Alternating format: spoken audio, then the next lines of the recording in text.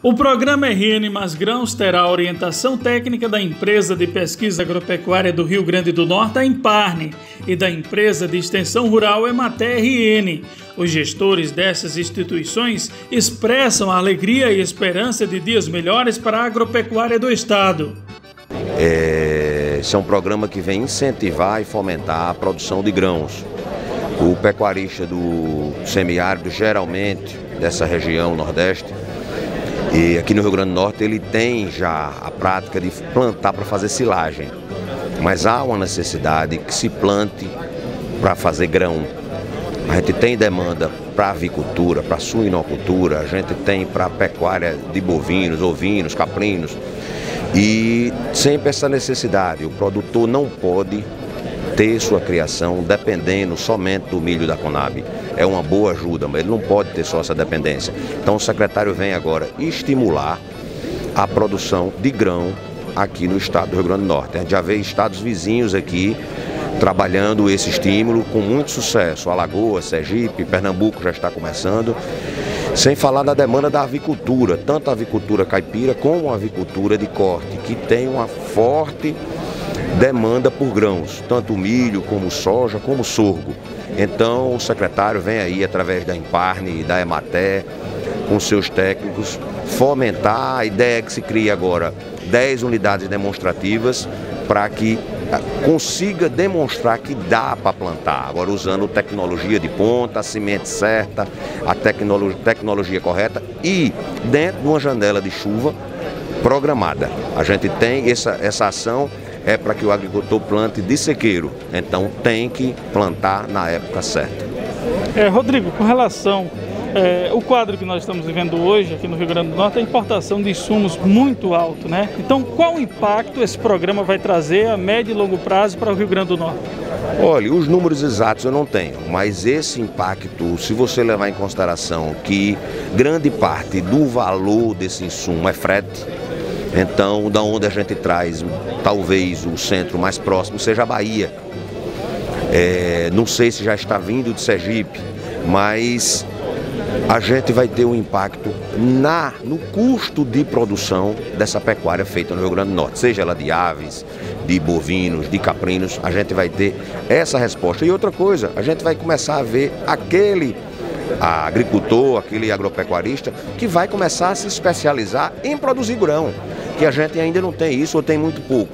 Então é importante que a gente estimule é, essa atividade. A governadora lançou hoje, juntamente com o secretário Guilherme, o programa RN Mais Grãos. Ele tem um, um objetivo central estimular a produção e a produtividade, especialmente de soja, de sorgo e de milho no Rio Grande do Norte, já que há uma demanda bastante expressiva do uso desses produtos especialmente para a cadeia produtiva da avicultura, da bovinocultura e tem um mercado certo já garantido. Né?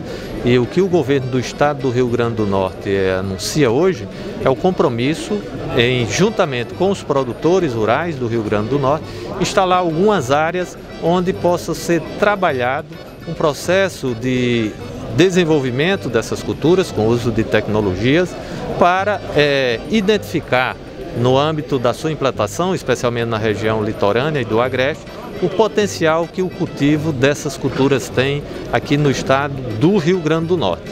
Não é novidade o cultivo de sorgo nem o cultivo de milho, mas da forma que está sendo proposto, se configura é, em uma oportunidade de negócios para a agricultura do Rio Grande do Norte e para todos aqueles que estão envolvidos, especialmente na cadeia da avicultura e da bovinocultura. A Emater terá um papel estratégico nesse processo, no sentido de orientar, dar o apoio, acompanhar a esses primeiros produtores que estarão inseridos nessa experiência já agora em 2021. O gerente executivo do Banco do Nordeste, Railson Ferreira, está otimista com o programa. Então, é, é, uma excelente iniciativa do governo do estado, né?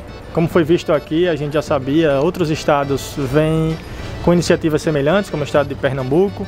Né? A gente tem estados no Nordeste que são fortes é, nesse segmento de grãos, né? E o Banco Nordeste é o principal parceiro desses produtores em seus estados, né? Sergipe, Alagoas, enfim.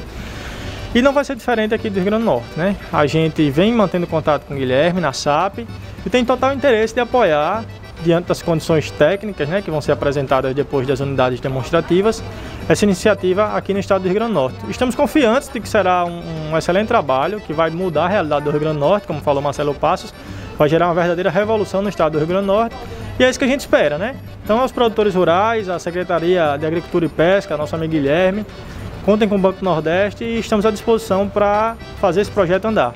Os produtores que participaram do evento saem na esperança de dias melhores para a agropecuária do Rio Grande do Norte. Esse programa, é, a gente tem muita expectativa né, de ajudar o produtor, é, incentivar, orientar é, a estar tá produzindo é, um alimento para ajudar né, a gente que produz o leite, né, que é ajudar na dieta dos nossos animais, né, a gente é, abrir a cabeça para outras culturas que são tão importantes para a gente fechar o ciclo da pecuária. Eu vejo com muito otimismo, porque nós precisamos exatamente botar a área governamental para é, é, se agregar ao produtor conhecimentos técnicos, científicos de produção. Veja bem o seguinte, na hora que a Emparne é, está na área técnica, né, desenvolvimento, para análise de solo, escolha de sementes, a Ematé, que pode dar o apoio técnico, porque todo o Rio Grande do Norte tem um técnico da Ematé. E a Secretaria de Agricultura foi muito feliz nesse lançamento. Porque o que nós estamos necessitando do Rio Grande do Norte é de tecnologia.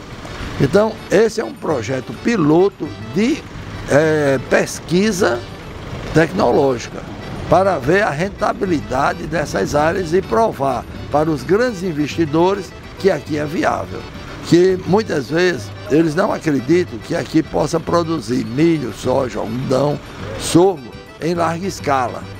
Mas nós já temos várias comprovações no interior do Rio Grande do Norte se produzindo 6 a 8 toneladas de milho por hectare, grãos.